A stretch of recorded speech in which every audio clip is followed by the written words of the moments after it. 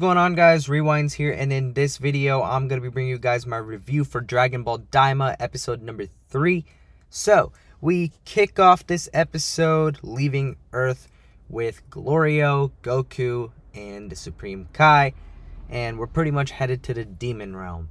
So, last week's episode was a good setup episode. We got some things moving it definitely wasn't as exciting of an episode as episode one was, but this week, on the other hand, I feel like we did pick up in terms of excitement. So I don't think episode three was as exciting as episode one either, per se, but episode three definitely made things a lot more interesting. The first half of the episode definitely did start out a little bit on the slower end.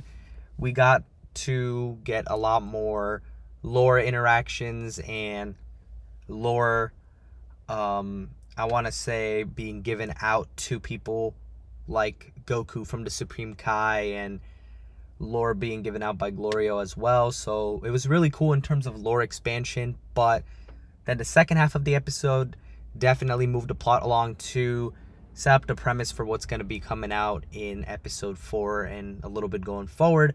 So i can really appreciate that. But let's talk about what happened exactly.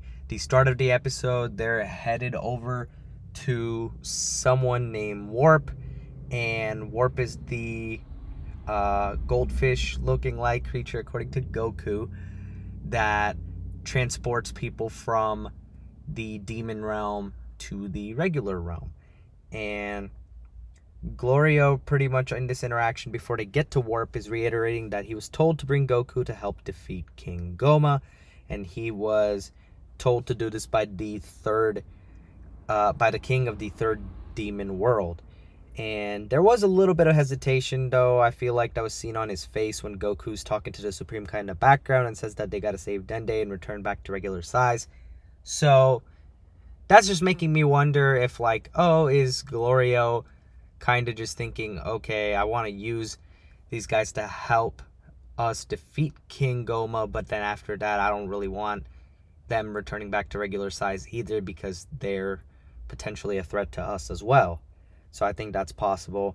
So the location of where Goku and Supreme Kai and Glorio are about to go from or go to, I think, is planet Batapi, I believe it was called and that location gets relayed over to Kibito as well so that later on when he ends up coming by that he can bring the others with so in order to pass through warp though to the demon realm one has to be a demon so supreme kai actually did some magic to make goku's ears look pointy in that moment just so that they could pass by which i think was pretty smart by him and then Supreme Kai follows it up with a not so smart moment. He forgets to tell Kibito the pin number of what's needed to actually go from the regular realm to the demon realm. So that's something they're going to have to figure out down the line whenever we get there.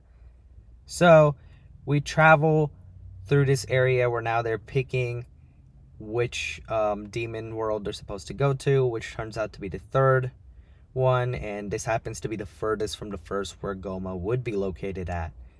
Once they get there, a Demon Realm tunnel is also revealed. And this is actually covered by a shield of light that would normally lead to the other two worlds. So it used to be a passageway between World 1, 2, and 3. But Supreme Kai says ever since that he's been a kid, it ended up getting blocked up. So pretty much things kind of just strictened up there for some reason. Warp is only allowed um, to use typically by the people of the first demon world and select people from the second demon world. So this is kind of making me think maybe the third demon world is actually perhaps a area that's kind of seen as a little bit more rough. Perhaps there's people in the third demon world that are just not as strong when it comes to in power in comparison to the people in the first demon world. Maybe they're you know maybe this could be the rougher edges of that place. This could basically be the universe's universe 9 version for example where there's a lot more crime and stuff going on. And that's kind of revealed a little bit more too. A little bit based off of just the kind of people uh, goku glorio and supreme kai encounter later in the episode. So maybe it's kind of like the king of the demon world being um well the general king of the demon realm being king goma who rules over all of them. Maybe king goma and the first demon world are probably a lot stronger in power and probably a lot more better off whereas the second demon world might be a little bit more mixed and then the third one possibly could just be one that has a lot of rough problems going on so that's what i'm guessing this could be implying. So glorios asked why is he allowed to travel since he supposedly works for the demon world? Uh well since he works for the third demon world's king supposedly but glorio says he does work in the first demon world so that gives him access. However he serves i think the third demon world king once we land on the planet we see a Dabura statue which i thought was cool. And in general i just like the planet's aesthetics in general. I really like what toei's been doing overall when it comes to a lot of the scenery and just like even scenes when they enter a building and stuff the lighting the shading on the characters everything is just looks so much nicer that you can tell that they had their time to actually work on the show. So i really do appreciate that. So once they land goku's actually feeling like he's moving slower. Glorio reveals it's due to the gas on the planet that's making the air heavy. However the gas is harmless so it just makes it tougher to move. Supreme Kai is then revealed to be something called a Glind, so that might be his race's name perhaps, and his race apparently originates from the second demon world. And Glory also throws in a little shot at him by saying apparently they never checked in on the third.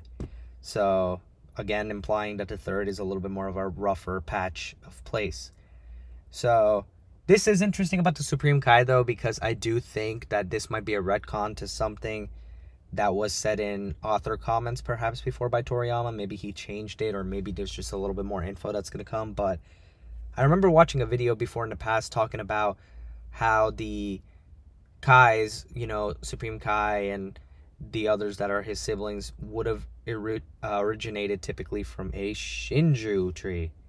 So this is interesting to hear that um he, he just has like a whole race of people in the demon world perhaps. Or maybe the shinju tree's still around there somewhere in the second demon world. We don't know yet but i'm sure they'll touch on that a little more a little bit more later goku also almost fell into a darkness sea which glorio says would have resulted in instant obliteration after that some bandits fire arrows at goku they happen to be slow though and goku dodges pretty easily Glorio dodges these bandits' arrows with ease and is moving really fast and shoots at them to drive them away. And the animation looked pretty smooth and nice on that moment when Glorio had. Glorio says that for the day that they'll stay at a hotel tonight and then tomorrow they'll meet up with King Kadan. So King Kadan or Kadan is gonna be the king of the third demon world it sees. We didn't get any indication of what he looks like yet in this episode but at least we have a name reveal. And the reason why they got to stay at a hotel is because they have to fly slow, or the heavy air would end up breaking the ship. So they're literally just coasting by.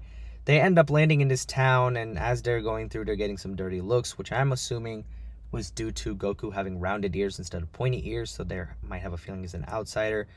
Once they get into the hotel, Glorio's being asked by the hotel guy for 30,000 and Glorio says no and gets really mad and pulls him well not really mad but he he says that's you know a terrible price and all that and he pulls him in close to show him his gun and immediately he gets his price reduced to 5000 so glorio's been a pretty cool character so far i want to say i've enjoyed the addition of him so far and you know this is really our first episode we're really really getting to see him this much and so far i think he's making a good impression at least on me let me know how you guys are feeling about him but all in all, I'm enjoying it. And I think the reason he got the price reduced was not just because he had a gun, but more so because they may realize that he's a worker of the first demon world with that gun, perhaps. That's what I'm guessing. After that, Goku says he's hungry, and there happens to be a bar across the road where they go. People give them some dirty stares in there. Goku ends up asking for five hamburgers since he already ate before they left Earth. I find that funny that that's like a low portion for Goku, but that's such a Goku thing to do. So he gets five hamburgers on a light stomach. And Goku's eating, but then he starts getting in some trouble because some people at the bar start coming up to him saying, Hey, you're not from the demon world, are you? You don't have pointy ears.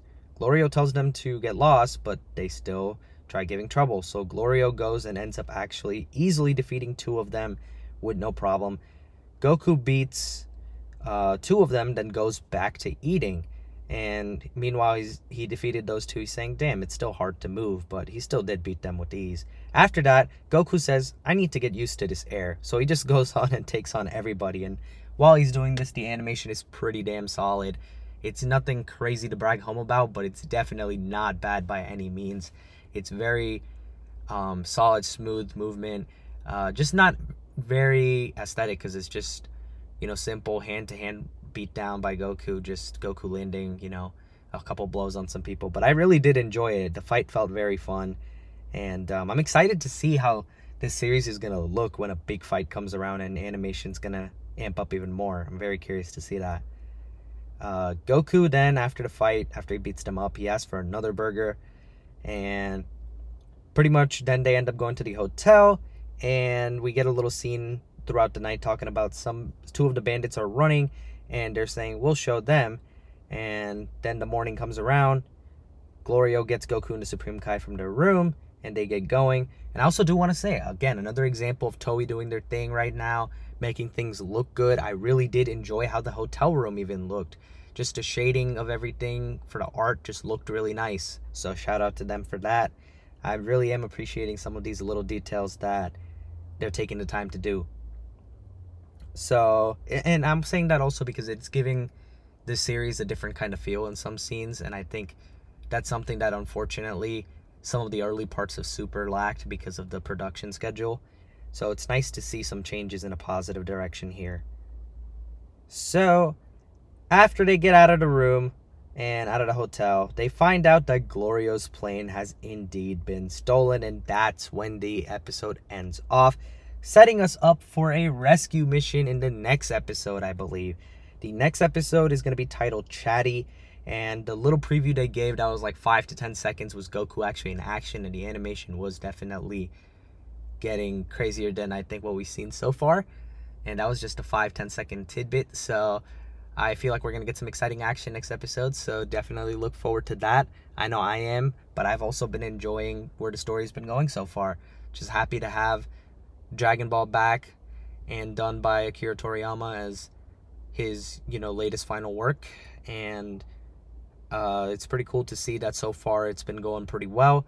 Hopefully it sticks like that. I still do want to hear, of course, what kind of potential stuff Akira Toriyama might left behind for Super because I know he was very um, involved in certain parts. For example, the Granola arc, and we know he did a lot of superheroes. So we know he was involved. It's just a matter of did he leave anything else behind, or is it just going to be Toyotaro taking the ROMs now? But all in all, this episode, really, really enjoyed it. Great episode. Not my favorite, but my second favorite episode of the series so far. Better than episode two, though. So right now, my ranking would be one, three, two for which episodes I like the most. I'm gonna give this episode a eight and a half out of ten. I definitely would love to hear what you guys would give it to in the comments below, so definitely let me know. But that's going to wrap up this one. If you guys did enjoy this video, be sure to hit the like button, subscribe to my channel if you guys are new. And as always, I hope you guys have a good day or night whenever you guys are watching this video. I'm Rewinds, and I'm out.